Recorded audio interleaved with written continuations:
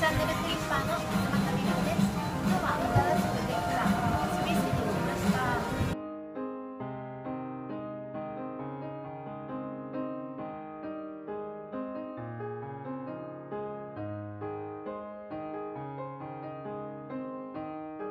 今日はサラダランチでヘルシーに行こうと思ってます。すごーい。野菜たっぷり。美味しそう。どれから食べよう。いろんな野菜があってこのしましまの野菜を。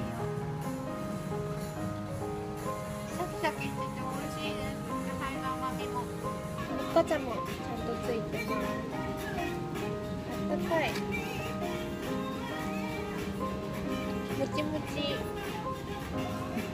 そうさまでした